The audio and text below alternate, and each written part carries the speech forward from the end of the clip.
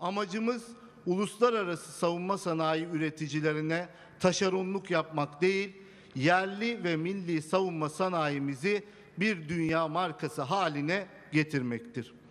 Stratejiden tasarıma, altyapı kurulumundan teknoloji geliştirmeye, prototipten ticarileşmeye kadar her aşamayı büyük bir titizlikle takip ediyoruz.